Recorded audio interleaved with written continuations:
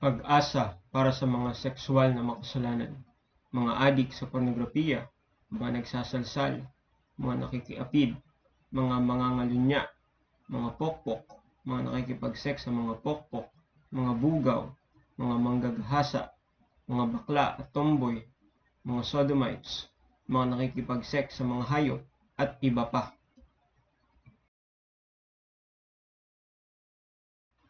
Ako ay naparito hindi upang tawagin ang mga matuwid, kundi ang mga makasalanan sa pagsisisi. Luke chapter 5 verse 32. Pumunta si Jesus sa bundok ng mga olibo at maagang nagbalik siya sa templo at ang buong bayan ay naparoon sa kanya at siya'y naupo at sila'y tinuruan at dinala sa kanya ng mga eskriba at mga fariseyo ang isang babaeng nahuli sa pangangalunya. At nang mailagay na nila siya sa gitna, ay sinabi nila sa kanya, Guro, ang babaeng ito ay nahuli sa pangangalunya, sa mismong akto. Sa kautosan nga ay iniutos sa amin ni Moises na ang mga ganyan ay dapat batuhin. Datapwat ano ang sinasabi mo? Sinabi nila ito na tinutokso siya upang magkaroon sila ng akusasyon sa kanya. Ngunit si Jesus ay yumuko at sa pamamagitan ng kanyang daliri ay sumulat sa lupa na para bang hindi niya narinig ang mga ito. Kaya't nang sila'y magpatuloy sa pagtatanong sa kanya, ay tumindig siya at sinabi sa kanila, Ang walang kasalanan sa inyo ay siyang unang bumato sa kanya. At muli siyang yumuko at sumulat sa lupa. At ang mga nakarinig nito, palibhas ay hinatulan ng kanilang sariling budhi, ay nagsialis na isa-isa, simula sa pinakamatanda hanggang sa huli. At si Jesus ay naiwan na mag-isa at ang babae na nakatayo sa gitna. At nang si Jesus ay tumindig at walang nakitang iba kundi ang babae, ay sinabi niya sa kanya, Babae, nasaan ang mga nag-akusa sa iyo? Wala ba taong humahatol sa iyo? Sinabi niya, walang tao, Panginoon. At sinabi sa kanya ni Jesus, hindi rin kita hinahatulan. Humayo ka at huwag ka nang magkasala. John chapter 8 verses 1 to 11.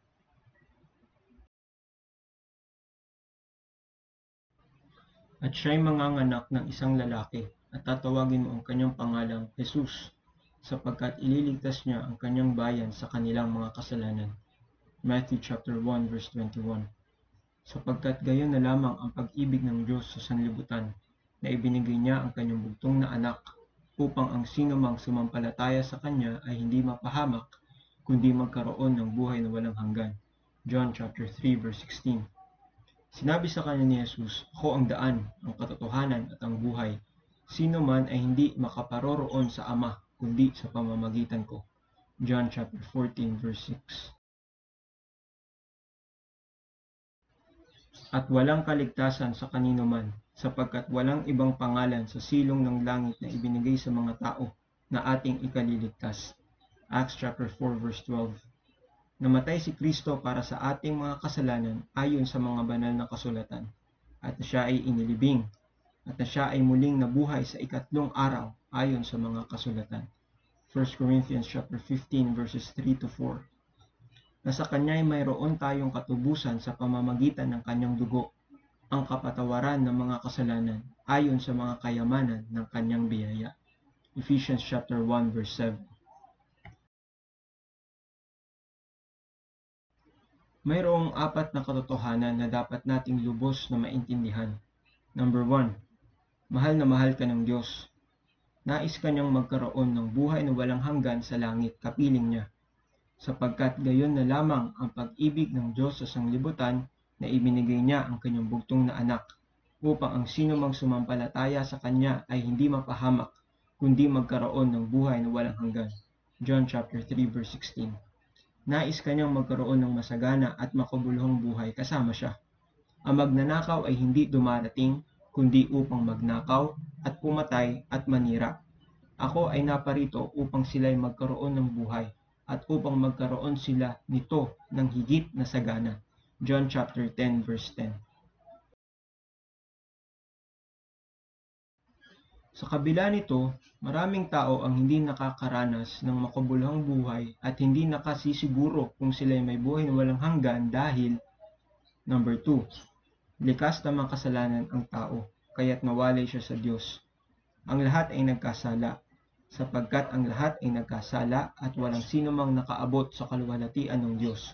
Romans chapter 3 verse 23. Sapagkat ang pag-ibig sa salapi ang ugat ng lahat ng kasamaan.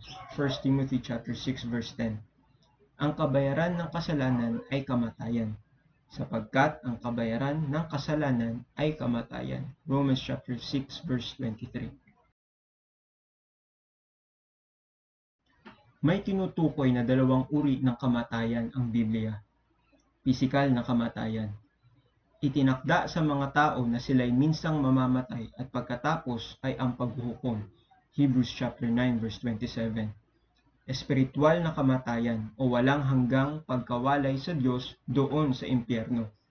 Subalit para naman sa mga matatakutin, mga hindi nananampalataya, mga kasuklam-suklam, mga mamamatay tao, mga nakikiapid, mga mangkukulam, mga sumasamba sa Diyos-Diyosan, at sa lahat ng mga sinungaling, ang magiging bahagi nila ay sa lawa na nangliliyab na apoy at asupre.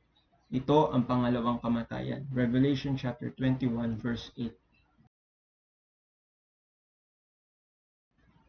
Kung ang tao ay nawalay sa Diyos dahil sa kanyang kasalanan, ano ang solusyon sa problema niyang ito? Madalas nating iniisip na ito ang mga solusyon. Relihiyon, mabuting gawa, kabutihang asal. Ngunit iisa lang ang solusyon na galing sa Diyos. Number 3. Si Jesus Christ lamang ang tanging daan patungong langit. Ito ang pahayag ng Diyos. Sinabi sa kanya ni Jesus, Ako ang daan, ang katotohanan at ang buhay. Sino man ay hindi makaparoroon sa Ama, kundi sa pamamagitan ko. John chapter 14 verse 6.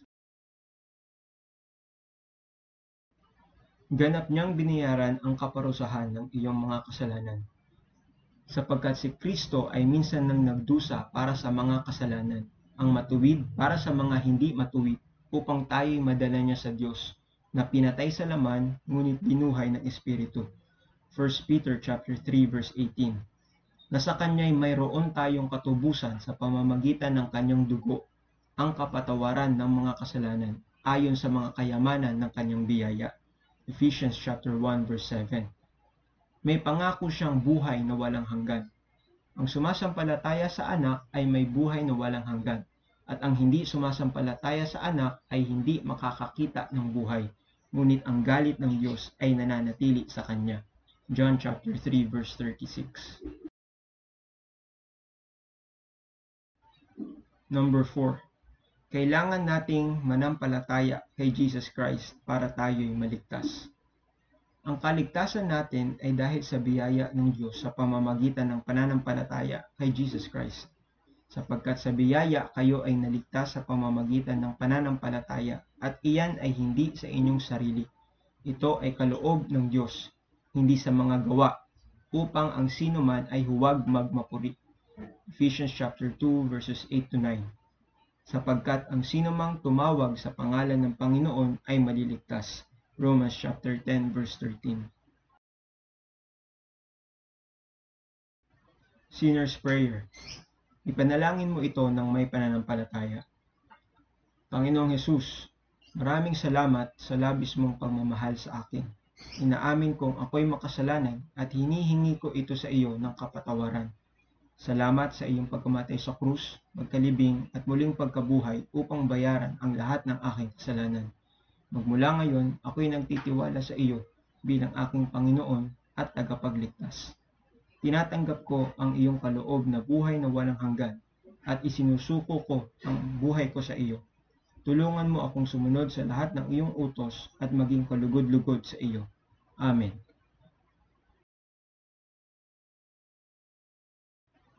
Kung nagtiwala ka na kay Jesus Christ, nangyari na sa iyo ang mga sumusunod. Ngayon, mayroon ka ng buhay na walang hanggan kasama ang Diyos. At ito ang kalooban ng nagsugo sa akin na ang bawat nakakakita sa anak at sumasampalataya sa Kanya ay magkaroon ng buhay na walang hanggan at siya'y aking ibabangon sa huling araw. John chapter 6 verse 40 Ang lahat ng kasalanan mo ay bayad na at napatawad na noon, ngayon at sa hinaharap. Ngunit ang taong ito, pagkatapos niyang maghandog ng isang hain para sa mga kasalanan, magpakailanman, ay umupo sa kanang kamay ng Diyos. Hebrews chapter 10 verse 12.